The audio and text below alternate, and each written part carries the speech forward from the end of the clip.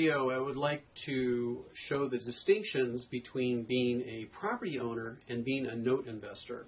Now, the reason why I'm doing this is because I've seen people that are in one or the other of these two investment arenas, and it's important to keep them separate. I, I see sometimes people who are note investors who are treating notes like their property, which they aren't. So we have to be careful that we don't mix these two worlds up. And if it's a note, we need to evaluate it as a note and whether it's something we should invest in as a note. And once it converts to a property, then we really put on a whole different hat. And so I'd like to show the difference between these, and you decide which of these two worlds you would rather invest in. Now, I think you know what my uh, my presupposition is, and that is I prefer note investing. And so hopefully this will help you to see uh, that there are some distinctions that maybe you want to avail yourself of as well. So first of all, let's take a look at the income from a property. Now, as you know, if you're a property owner, you receive rent. Okay, and of course that's on a monthly basis, whereas for a note investor, they're receiving mortgage payments. Now, mortgage payments and rent are very, very different things, as you know. Uh, a mortgage payment comes from a borrower, whereas a rent rent payment comes from a tenant. Now, just the fact that that relationship exists, that a tenant and a landlord relationship is fundamentally different than a borrower and a lender relationship, that that role distinction is huge because the tenant sees the property as the own as owned by the property investor. And so that sets up a fundamentally different relationship. That tenant perceives that they have rights to to receive from the property owner to keep that that property in the condition that the tenant prefers. As well, there's kind of a, a built-in relationship of the uh, the tenant uh, maybe not wanting to fulfill some of the obligations that the property owner puts on the tenant in taking care of their property. Now, shift over to that of the borrower and the lender. The borrower never calls the lender to fix up the property or to repair something. This just doesn't happen. This is just not not in existence. Um, a person doesn't call, you know, Chase Bank to fix the toilet, right?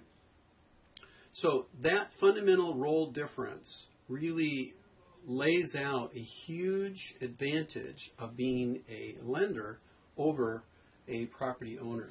So let's take a look at the next feature, and that is liability. Now, by liability, I mean by this liabilities inherent with the property itself. For example, if there is someone visiting your tenant and they slip and fall, you as a property owner can be liable for something that maybe is a defect on the property. So your liability is actually high, and it's, of course, very advised for property owners in our society, very litigious society, to have some form of insurance on the property and then also an umbrella policy for the property owner.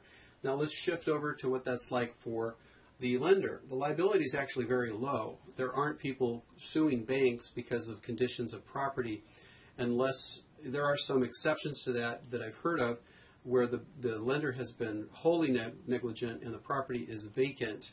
And there have been a few, uh, I, I, know of one lawsuit that where they uh, actually did go after the lender because the, the swimming pool was a, a big mess and it was a liability for the neighborhood.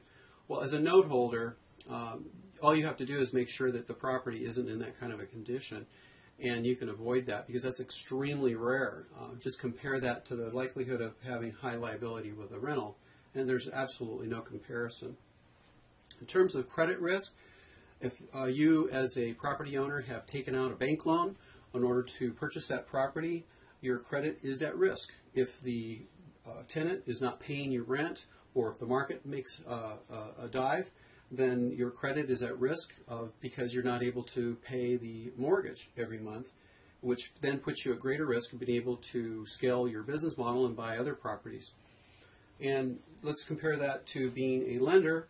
there really is no credit risk at all. And the reason is because you were the lender. You, you did not have to apply for buying this, this loan. You used your own money, you didn't borrow it, and so there isn't any credit risk.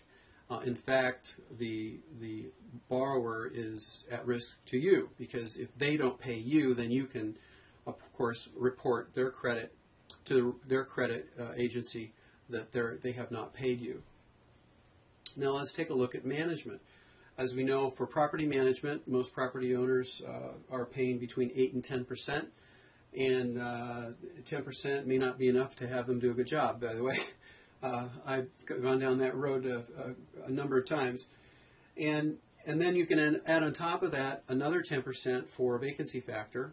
And so you're up to about 20, between 16 and 20% of uh, the, the fact that you're not going to be getting that income from, for the year and management. So we really are, are having, we really need to account for this if we have a rental. Now, $30 a month is what you would pay as a lender for that loan to be serviced. That's it. And in some cases, some servicing companies only charge you about $15 a month.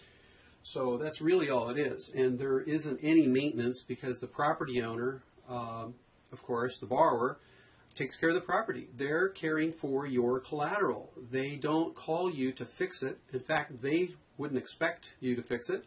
Uh, they're fixing it up themselves because they have that ownership principle in their heart that says, I want to own a home.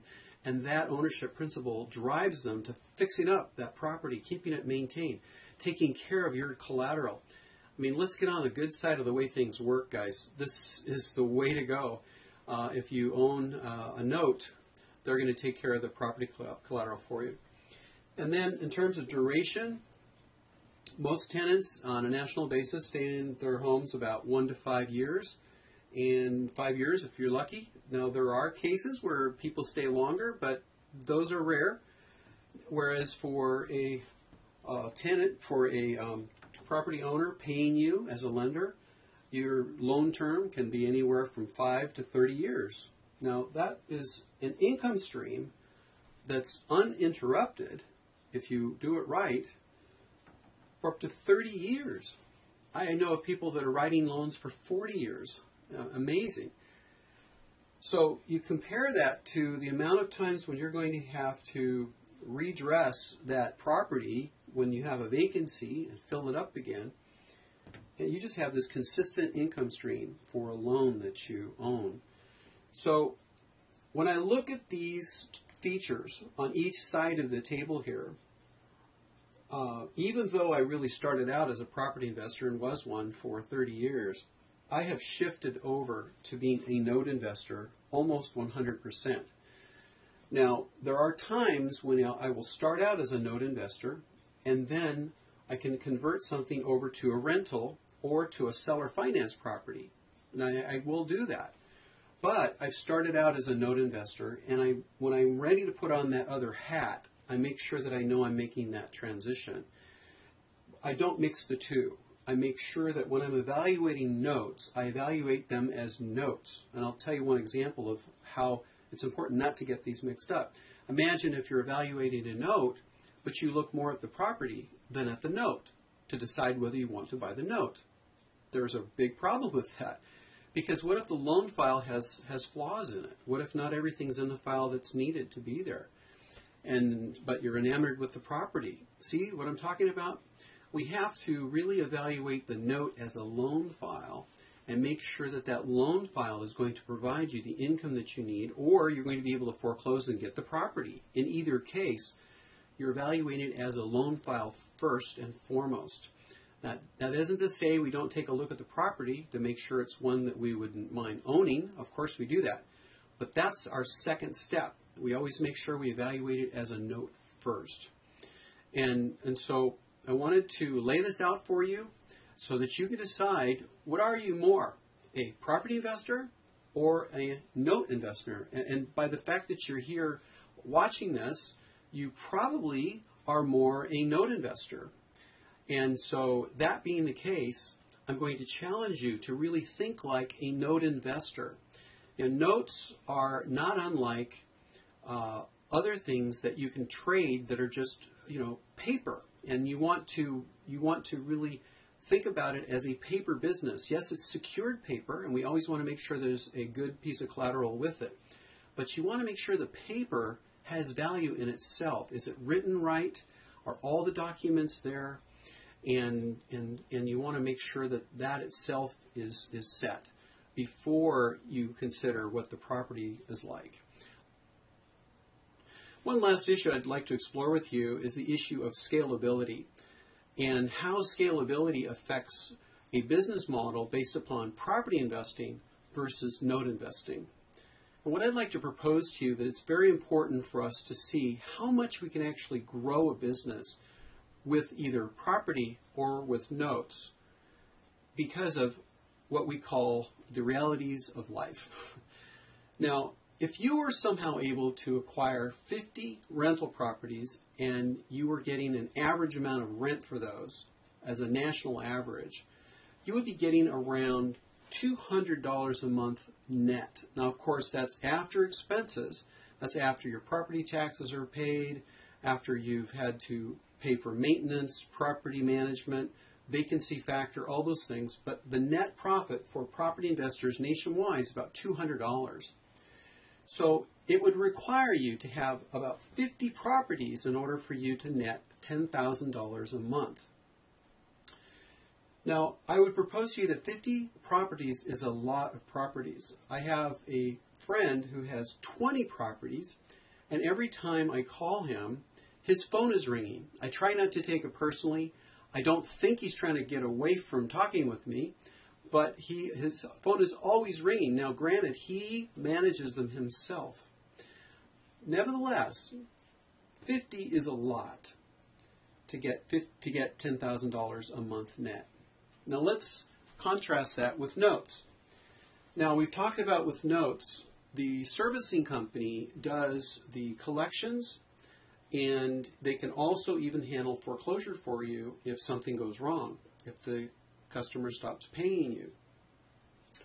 And so the actual outlay of your effort and time is really, really reduced. The, the tenant, is, the borrower is not calling you um, to do anything with the property, and so that is really keeping your phone quiet. So let's just take a look at what it would be, what your income would be on a monthly basis if you had 50 notes. Now remember, you're not having to subtract out um, property taxes and insurance and expenses, maintenance on the property. The only thing you have to subtract out is your servicing costs of about $30 a month. So if you're able to accumulate 50 notes, the average for a nationwide rental, sorry, nationwide income for those notes is about $500 a month. Now, I teach that it's important for us to buy unpaid principal balance notes of at least 50000 and, and up. So I don't really believe in buying low balance loans, and so that's how I can make sure that I keep this at about $500 or more a month. So if I'm getting $500 times 50 notes, that's a nice income stream of $25,000 a month. Now, is it possible for you to to scale back or to scale up from that? Absolutely. If you if you want to go beyond 50, you certainly can. Uh, I personally know of someone who has 100 seller finance notes nationwide, and his income right now is about $50,000 a month. And is his phone ringing? No. No, it's very, very easy for him to manage 100 notes on a monthly basis. So I wanted to show you that the scalability factor is really important in considering which of these two worlds you want to live in. Do you want to max out at 20 to 50 houses that you can manage? Or do you want to just start at 50 notes and go up from there almost without missing a beat. So this is a choice that you have. And personally, I'm investing in more notes than I am in properties. Of course, properties are great for rental income, but I prefer to lean on the side of the note investing and turn those into cash flowing paper because the management issues are just so much easier. All right, well, that's it for this video. I hope that I have persuaded you to lean more toward the note investing side, and I look forward to hearing about your success.